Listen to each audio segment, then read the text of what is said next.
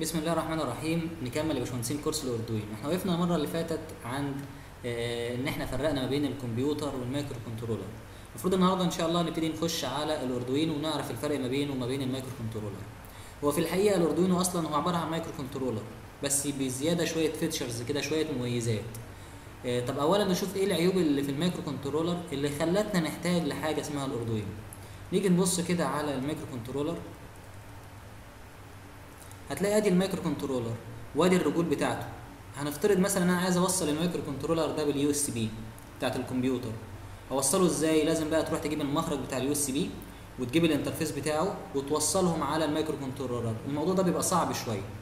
طيب أنا عايز مثلا أوصل ال- الرجول على بتاعت بتاعت ال microcontroller ديت مثلا على آه، تتحكم في ال DC motor شوف بقى لازم تحط دوت في في breadboard وقبل ما تحطه في ال breadboard تحطه في قاعدة عشان الرجول ما تتكسرش وتوصلهم في ال breadboard وبعدين تبتدي تاخد بقى إيه من ال breadboard من النقط اللي توصلها مع الرجول ديت آه على ال breadboard تاخدها وتوصلها بال بال IC بتاع ال DC motor ومن ال IC بتاع ال DC motor على الموتور وهكذا. تلاقي الموضوع فيه تعقيدات شوية وصعوبات شوية. وقيس بقى على كده باقي الايه باقي الصعوبات اللي, اللي بتلاقيها لما تيجي تتعامل مع ال microcontroller وطبعا الناس اللي اتعاملت معاه تقدر تعرف الكلام ده كويس. فقالوا لك إحنا نعمل حاجة بقى سهلة أسهل من الكلام ده هي اسمها ال Arduino. عبارة عن إيه ال Arduino؟ قال لك في الأساس عبارة عن microcontroller زي ما إحنا شايفين كده. أدي ال microcontroller جواه ال microcontroller اللي هو من من شركة Atmel اللي هو نوعه اي في ار اي في ار طبعا ديت Arduino Uno اللي هي الكيتة اللي اسمها Arduino Uno. هنعرف طبعا تفاصيل اللي هي الأنواع بتاعت ال Arduino. فبيبقى جواه كده microcontroller وال microcontroller حواليه بقية الحاجات التانية دي كلها. حواليه إيه مثلا قال لك ما أي نوع من أنواع ال microcontroller بيبقى جواه بيبقى له رجول ينفع تقرأ منها digital و analog فأنت لو جيت بصيت كده هتلاقي إن في عندك رجول من صفر لحد 13 ينفع تقرأ عليهم digital و analog يعني مثلا تلاقي الرجل رقم صفر ديت مثلا مثلا يعني هي الرجل اللي موجودة هنا.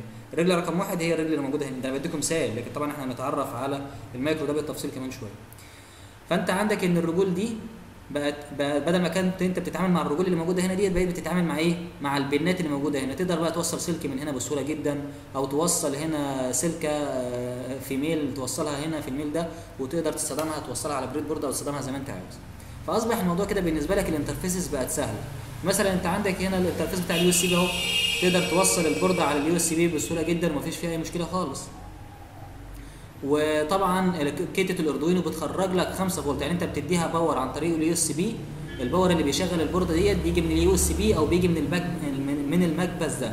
المكبس ده بتدخل له قيمة جهد. آه بتتراوح من 7 فولت لحد 20 فولت. وهو بياخدها وبتدخل على regulators وال regulators ديت بتطلع لك هنا 5 فولت أو بتطلع لك هنا 3 من 10 فولت. فأصبح دلوقتي انت مش بس بتدي جهد لل IC لا ده هو كمان يعني إيه مزود لك حتة features كده بيقول لك لو انت عايز تاخد 5 فولت خدها من هنا برضه ولو عايز 3 و3 من 10 فولت خدها من هنا.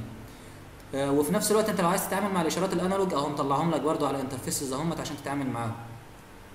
وفي نفس الوقت طريقة البرمجة عن طريق حاجة اسمها الاي سي اس بي الاي سي اس بي لو انت عايز تبرمج الكيتة ديت وهي موجودة فين؟ موجودة في قلب الدايرة بتاعتها.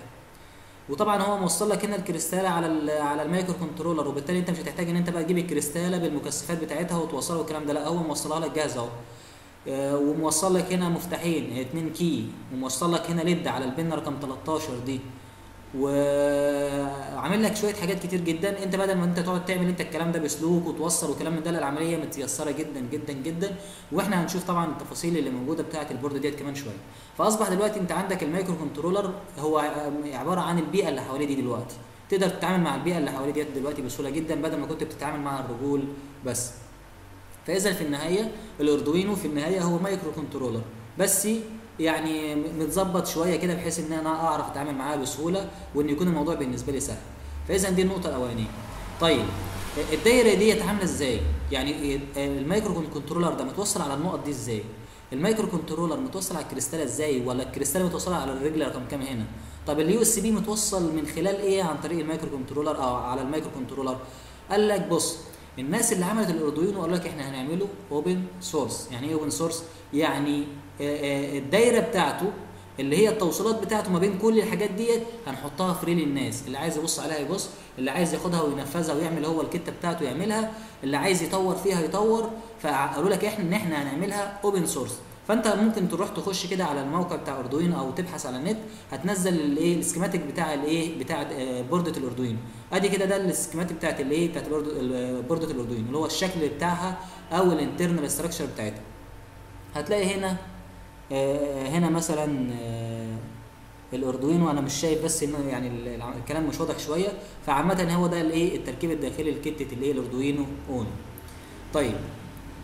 طبعا أنت تقدر تخش على آه، آه، كمان حاجة مهمة أنت تقدر تخش على الرابط اللي قدامك ده تقدر تاخد ال software بتاع ال Arduino إيه ال software بتاع ال Arduino ده؟ مش إحنا عندنا في ال PIC microcontroller أو في أي microcontroller بيبقى عندنا برنامج بنكتب فيه الكود ونعمل منه compile ونشوف الكود صح ولا لأ أو كلام من كده؟ قال لك ما كذلك برضو الأمر في ال Arduino في آه، برنامج كده بنستخدمه علشان نكتب فيه الكود اللي ال Arduino ينفذه. طب البرنامج ده نفسه الناس حاطين لك أو اللي عمل ال Arduino حاطين لك الكود بتاع البرنامج ده بحيث إن أنت لو عايز تعدل في البرنامج تعدل في الشكل بتاعه تعدل في الطريقة آه، في في الكود بتاعه تقدر تعدل فيه. فحاطينه لك على الرابط ده. يعني قايلين لك بص إحنا عاملين ال software open source وعاملين ال hardware open source البرنامج اللي هتستخدمه تقدر تعدل فيه. مش البر... مش ال- البرنامج مش المقصود بيه الكود اللي الم... ال Arduino هنفذه لأ. ده البرنامج اللي أنت هتكتب فيه الكود. البرنامج ده أنت تقدر تعدل فيه وتغير فيه. وال hardware نفسه إن الكتة نفسها متاحة ليك إن أنت تعدل فيها وتغير فيها وتطور فيها وتعمل كل اللي أنت عايزه. فال Arduino هو open source تقدر تنزل طبعا ال- ال- ال reference ده وتبص عليه وطبعا تكبر الصور شوية لأن الموضوع بالنسبة لي مش واضح شوية. طيب إحنا كده خلصنا يعني عرفنا يعني إيه آه، microcontroller وعرفنا يعني إيه Arduino آه، عايزين نبص كده على ال- ال- ال microcontroller اللي موجود جوه كتة ال Arduino اللي إحنا هنشتغل عليها. إحنا هنشتغل على كتة اسمها Arduino Uno ويعني إن شاء الله مش عارف نخش طب نخش الأول في أنواع ال Arduino قبل ما نخش في ال data sheet نخش في أنواع ال Arduino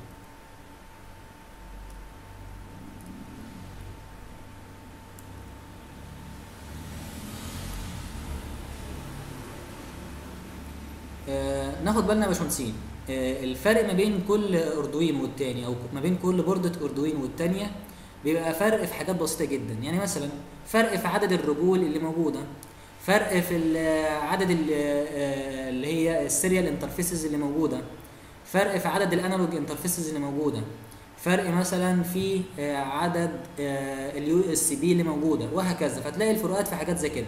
فمثلا الكتة اللي إحنا شغالين عليها بتستخدم processor اللي هو أو ال microcontroller اللي هو ATmega 3208 اللي انت ممكن تبحث عنه وتنزل ال data sheet وت- وتبص عليه. وطبعا ال data sheet هحطها لكم تحت الفيديو إن شاء الله. هحط لكم رابط ليها تحت الفيديو. الس- السرعة بتاعته اللي يعني اللي يقدر يوصل لها اللي هي 16 ميجا هرتز. عدد ال analog input اللي موجودة فيه 6 وطبعا ال output مفيش عندي output analog ال digital input output يعني ال- البنات اللي أو الرجول اللي ينفع تشتغل digital 14 آه، 14 pin 14 رجل. وعدد الرجول اللي ينفع تشتغل pulse width modulation 6 وده مهم جدا ال pulse width modulation يعني نقدر من خلال ال- ال- الكتة ديت إن إحنا نتحكم في سرعة 6 مواتير. نتحكم في سرعة كام موتور؟ 6 مواتير.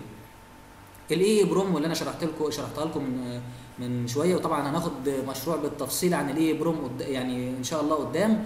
وطبعا الناس اللي عايزة تعرف يعني إيه EEPROM برضه ترجع لكورس ال PIC microcontroller وتسمع آخر جزء نزل فيه. آه، عندي هنا 1 كيلو بايت ال EEPROM عندي 2 كيلو بايت SRAM اللي هي ال RAM يعني وعندي 32 كيلو بايت اللي هي الفلاش. وال USB اللي هو ال regular اللي هو العادي يعني ال USB العادي. وعندي UART واحدة بس. ال UART دوت اللي هو عبارة عن البروتوكول اللي بستخدمه عشان اوصل كتة ال Arduino ديت بالكمبيوتر وأنقل ما بينهم data أو عشان أوصل كتة ال Arduino بأي كتة Arduino أو أي أوصلها بأي جهاز بيشتغل بطريقة ال UART فال UART ديت عبارة عن طريقة اتصال ما بين أجهزة. فموجود منها كام؟ هنا موجود هنا منها واحد. لو جينا على كتة ال Arduino اللي هي ديت هتلاقي إن هي باستخدام ال processor ده وهتلاقي إن هي سرعتها بتوصل لحد 84 ميجا هرتز وهتلاقي إن فيها 12 analog input و2 analog output وده شيء كويس ان يكون فيها analog output وال pulse width modulation 12 في حين ان ال digital input output 54 يعني تخيل هنا 14 وهنا 54 54 رجل تقدر تش- تشغلهم ك input أو ك output وعندك هنا ال EEPROM بيقول لك مش موجودة مش عارف إزاي. وعندك ال RAM آه، 96 كيلو بايت وده آه، كبيرة جدا مقارنة طبعا بال آه، بالمايكروهات التانية. أنت بتتكلم على مايكرو تاني أهوت واخد 2 كيلو بايت وبعدين بتتكلم هنا على إن الفلاش بتاعتك 512 كيلو بايت وبتتكلم على ال USB عندك اتنين ونوعهم المايكرو يعني ال USB ال micro ده. هتلاقي هنا ادي ال USB ال micro أهوت يا باشمهندسين في حين إن ده ال regular بيتقال عليه regular وهنا موجود واحد وهنا موجود إيه؟ اتنين اتنين مايكرو ادي اتنين مايكرو وإن ال UART اللي موجودة فيه أربعة. فطبعا الكتة اللي هي الثانية ديت إمكانياتها أكبر بكتير من الكتة الأولانية. هتبص بقى على بقية الكتات التانية هتلاقي الفروق بالنسبة لك تقدر تستنتجها من خلال الجدول.